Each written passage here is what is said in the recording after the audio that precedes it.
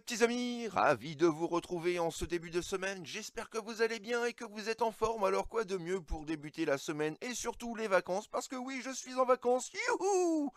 Voilà donc par la présentation d'un petit Transformers, et plus précisément donc du Kingdom Pipes, voilà, personnage secondaire rarement représenté dans les séries animées, et également donc en jouet.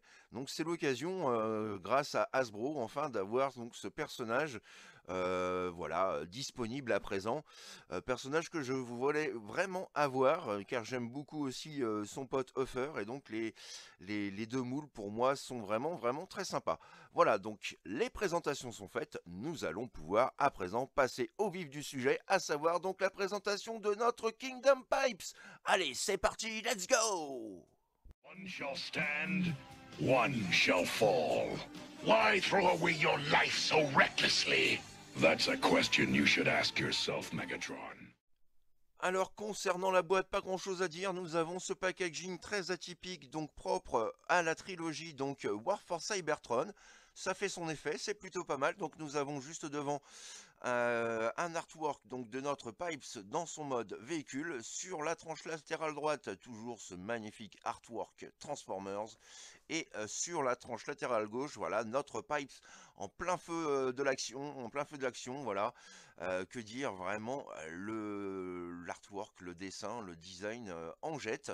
Et au dos de la boîte, voilà, pour pas changer, donc nous retrouvons notre Pipes sous sa forme botte, sous sa forme véhicule, et on nous indique donc que la transformation se fait en 17 étapes. Nous retrouvons bien entendu la notice.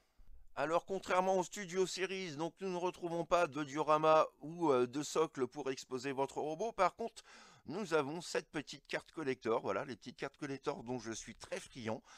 Donc représentant l'arche, voilà, avec toujours ce, voilà, ces, petites, euh, ces petites illuminations euh, psychédéliques. Et donc, lorsqu'on ouvre la première, voilà, la première tranche juste ici autocollante, eh bien, nous retrouvons à nouveau donc l'arche juste ici. Voilà, petite carte que, j'affectionne, qui sont plutôt euh, bien réalisées et contrairement au support donc fourni avec les Studio Series, bon bah voilà, pas, pas de mystère, hein. la carte est plus facile à stocker et prend beaucoup moins de place. Et petit 360 à présent donc euh, de notre Pipes, vous l'aurez euh, compris, hein, il s'agit donc euh, d'un repaint et d'un retool donc de Huffer. Alors ça ne me choque pas tout simplement parce que dans les générations 1, pour les vieux de la vieille comme moi, eh bien c'était déjà le cas. Donc voilà, on a quand même, voilà, on a quand même quelques différences notables. Ça c'est plutôt pas mal. Et puis malheureusement donc il a également hérité des défauts donc de Huffer. Mais globalement, donc le véhicule est plutôt très sympathique et le choix des couleurs à poser est vraiment de toute beauté. J'adore ce bleu nuit, limite un peu, un peu violet. Voilà, bref, nous allons pouvoir passer donc aux petits détails. Alors justement, donc en termes de finition, nous retrouvons bien entendu un pare-brise translucide, ça j'aime beaucoup.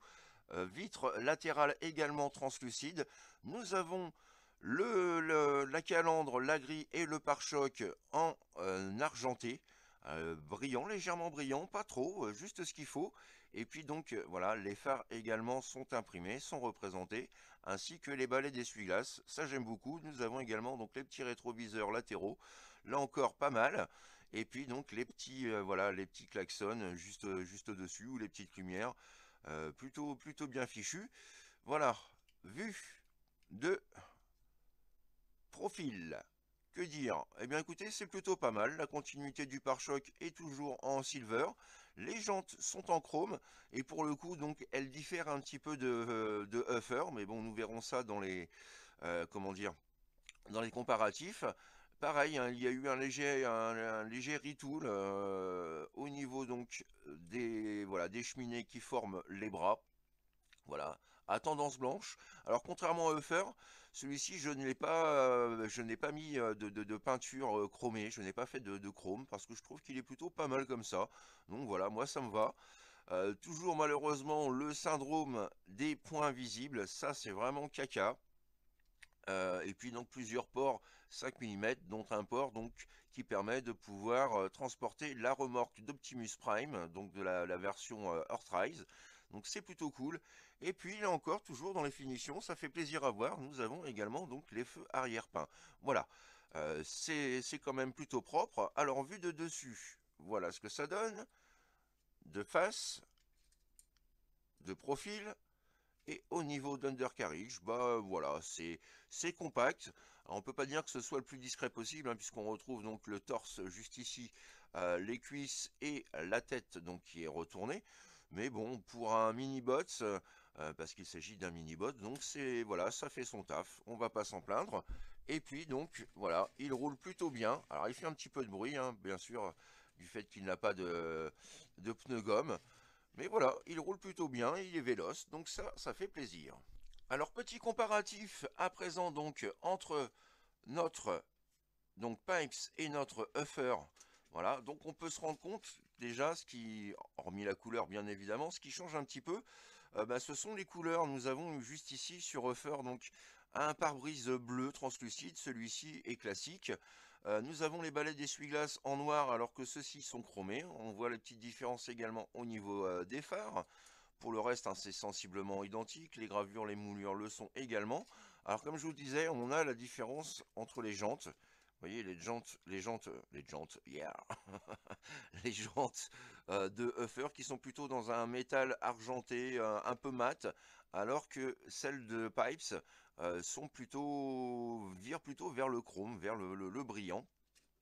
Et puis également donc, vous voyez la forme des cheminées qui change. Voilà, sur Uffer et sur Pipes. Pour le reste, pas grand chose euh, de différent.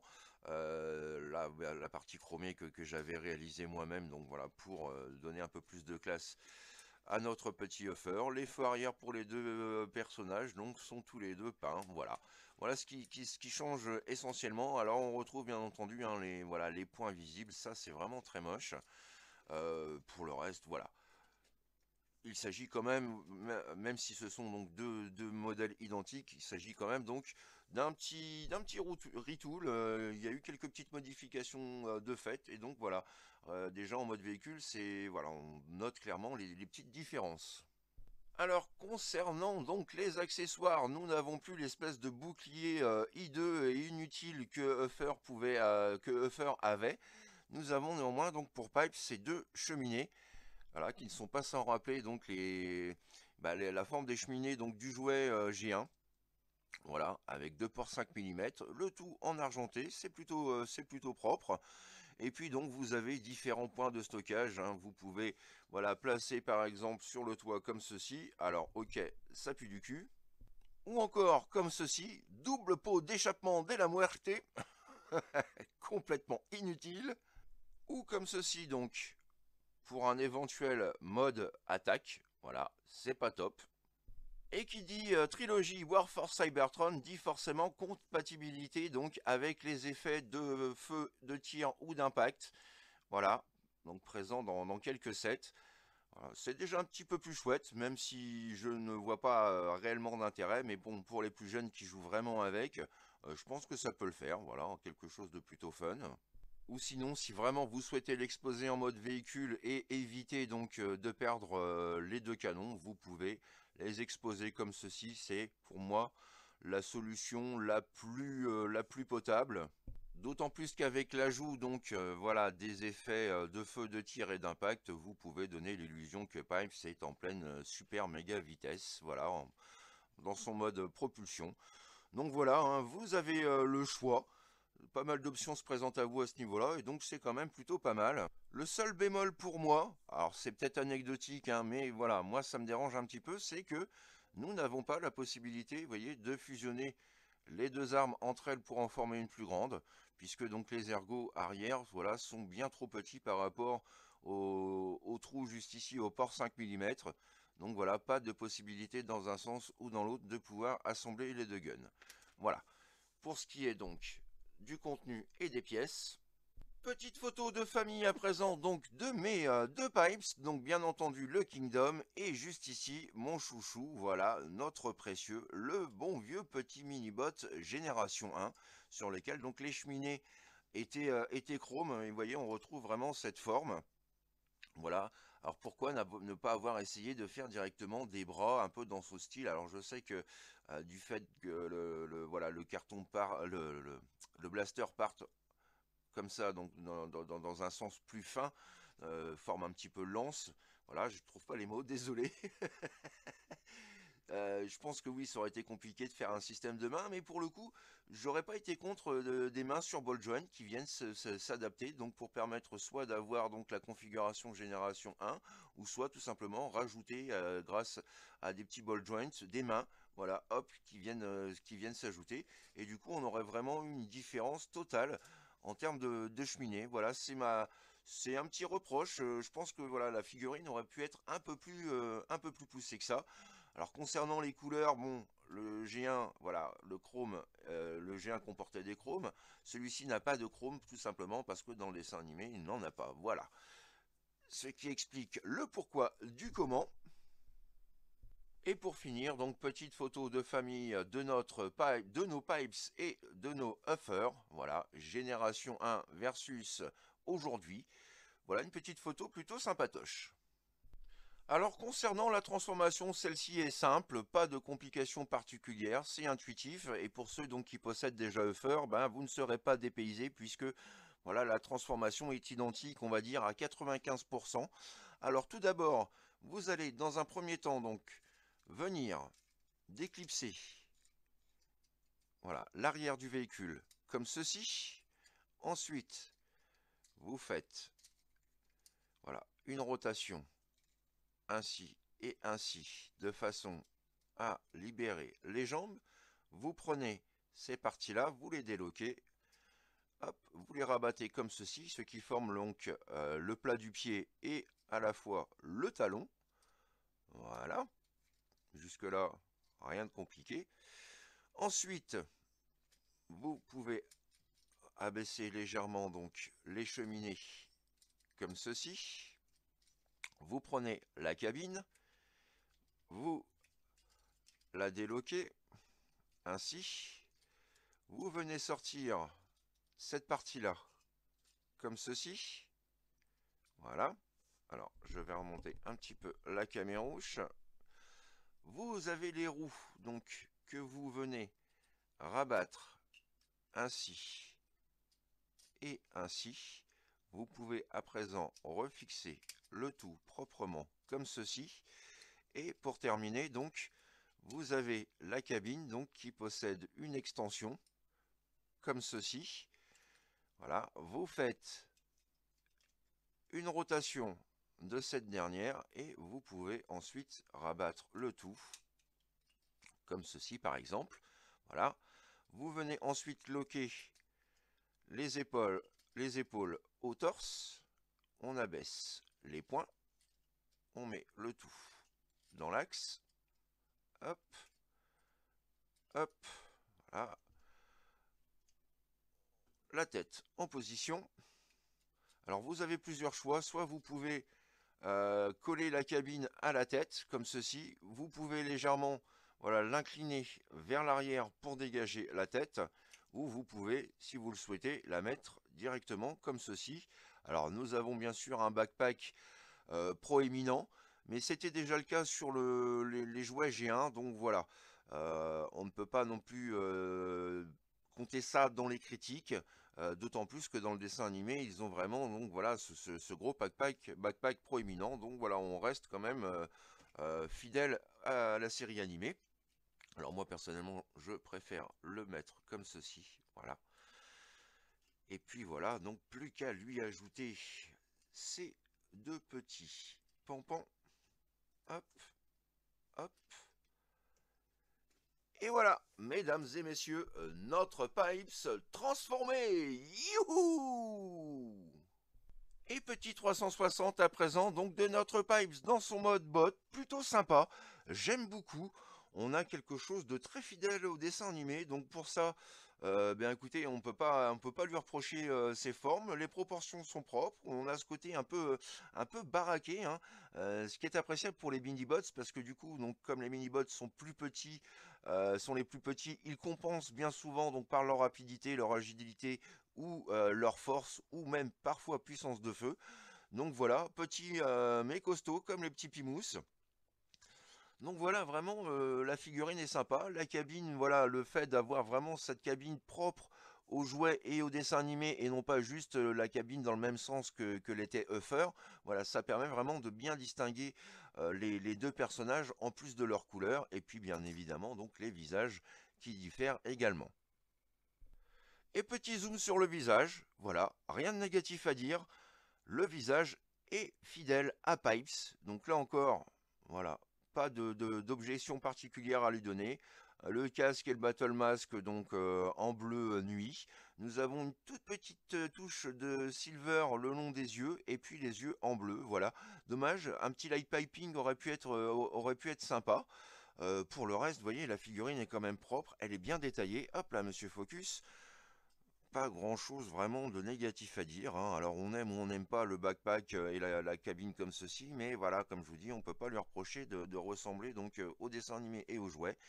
Voilà un petit peu donc pour les petits détails et en termes d'articulation. Alors nous avons la tête donc avec une rotation intégrale à 360.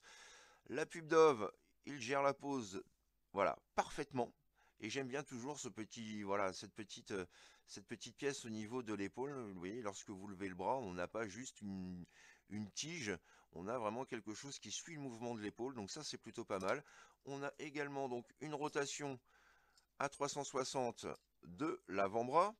Nous avons la possibilité, donc de par la transformation, de pouvoir incliner le point voilà, de l'intérieur vers l'extérieur. Une rotation du bassin.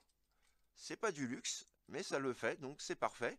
Le grand écart JCVD, voilà à peu près ce que vous pourrez euh, avoir euh, au max. Donc là encore, c'est raisonnable. Nous avons donc un pivot qui permet voilà, de pouvoir incliner, enfin de pouvoir effectuer du moins une rotation de la cuisse de l'intérieur vers l'extérieur. Nous avons également donc une articulation au niveau du genou. Voilà, articulation optimum. Ça c'est cool. Et puis donc nous avons le pied que l'on peut lever, baisser. Bon, ça servira pas à grand chose pour celui-ci, mais par contre nous avons, voilà, vous voyez, la possibilité de l'incliner de l'intérieur vers l'extérieur. Et là encore, on n'a pas juste un jour. Alors je vais vous montrer, je vais essayer de faire un zoom pour que vous puissiez comprendre. Vous voyez, on n'a pas juste un jour lorsque vous mettez la cheville comme ceci. On a une petite pièce ici à l'intérieur, moulée, qui, voilà, qui permet donc, vous voyez, de suivre le mouvement, voilà, sans provoquer de jours euh, dégueulasses. Donc voilà, le, souci du détail est bien présent. Alors pour stocker les armes, vous pouvez, si vous le souhaitez, donc les placer le long des jambes ou en placer ne serait-ce qu'une à l'arrière. Il n'y a pas de, port 5 mm pour pouvoir mettre les deux. Et puis donc après, en termes d'armement, bah voilà, on a ces pampans. Vous pouvez les mettre comme ceci, vous pouvez les mettre comme ceci, ou encore comme ceci. C'est pas trop dégueu. Et me concernant, donc, je préfère cette option, voilà, les placer sur les flancs euh, des avant-bras. Je trouve que ça fait pas mal et on retrouve donc cet effet un petit peu, un petit peu cheminé. Donc voilà, ça c'est pour moi euh, la meilleure des configurations, mais bien entendu, ça ne regarde que moi. et juste pour le fun, voilà ce que ça peut donner donc avec les effets de feu, de tir et d'impact. Voilà, en termes de display, là ça envoie, euh, ça envoie du pâté par contre. Voilà, j'apprécie euh, j'apprécie cette option. Petite photo de famille, voilà, de notre Pipes et de notre Uffer. Donc, voilà, les différences sont quand même significatives. On arrive vraiment à les distinguer tous les deux. Donc, le boulot est, vraiment propre. Hein. On a un chest complètement différent sur les deux. Euh, la couleur, bien entendu, donc des bras qui, qui diffèrent. Les jambes, pas de changement la tête bien évidemment donc qui, qui, est, euh, qui est modifiée, et puis donc vous voyez la cabine, voilà, la différence entre Uffer et Pipes. Donc voilà, il y a quand même eu euh, du boulot, c'est pas juste un simple euh, personnage qu'on a recoloré en bleu et puis basta comme c'est souvent le cas pour Cliff Jumper ou Bumblebee. Là, il y a quand même eu un petit travail voilà, plutôt soigné. Et on a vraiment donc ce côté show accurate, voilà, très fidèle au dessin animé et ça, c'est vraiment fun. Et pour finir, donc petite photo euh, de famille, donc de nos voilà, de nos deux Uffer et Pipes, donc version G1 et version contemporaine. Et ça, c'est plutôt la classe. Ouais voilà les petits amis, c'est ainsi que s'achève ma revue du jour, donc consacrée au plutôt fort sympathique Pipes, que je conseille vraiment aux fans du J1, euh, tout simplement bah, parce que voilà, on a quelque chose quand même malgré tout qui reprend, euh, qui est similaire donc à Uffer. Donc voilà, je sais que tout le monde n'aime pas forcément avoir du retool ou du repaint. Euh, pour le coup, donc moi je les trouve vraiment voilà, indissociables l'un comme l'autre. ils se démarquent. Voilà, ça, ça me, ça me convient. Et puis c'est vrai que Pipe, c'est tellement peu représenté en jouet que voilà, avoir quelque chose, un produit aussi propre, euh, eh bien voilà, euh, je, ne regrette franchement pas euh, cet achat. Je suis super content de l'avoir. Et, puis voilà quoi, il a quand même la classe le petit père, l'air de rien. Alors bien évidemment, comme toujours, n'hésitez pas à laisser vos commentaires, vos impressions, vos suggestions, bref, ce que vous avez pensé donc de ce petit père. D'avance, bien évidemment, merci pour tous vos petits pouces bleus qui, vous le savez, me font toujours infiniment plaisir. Et puis, et puis que dire d'autre? Eh bien écoutez, euh, je vous souhaite donc une bonne semaine, de bonnes vacances euh, pour celles et ceux qui ont la chance d'y être, hein, la zone B étant concernée actuellement. Et puis, bah écoutez, on se retrouve dans la semaine si tout va bien, parce que vacances oblige, voilà, je vais peut-être faire un petit peu moins de, vidéos. Euh, mais bon, je pense qu'on on se retrouvera quand même dans la semaine pour de nouvelles aventures. Voilà. D'ici là, bien écoutez, plein de courage, plein de force à vous, et surtout, n'oubliez pas, faites ce que vous avez à faire dans l'amour, dans la joie et dans la bonne humeur. Allez, plein de bisous les petits amis, bye bye, tchuss Ne crains rien, Pipes, on vient en ami Ouais, on vient fumer le calumet de la paix. Ou plutôt, la cheminée de la paix Ouais, elle est un peu facile celle-là quand même. Ah bah moi j'ai bien une autre idée pour une vanne, mais c'est un peu particulier quoi. Ouais, il faudrait pas qu'on soit censuré. Alors on y pense bien fort, mais on le dit pas. Ouais non, en effet, ouais. il est préférable que vous la fermiez. Mais direct quoi. Pas un mot, rien. Chut, on se tait. I would have waited an eternity for this. It's over, Prime.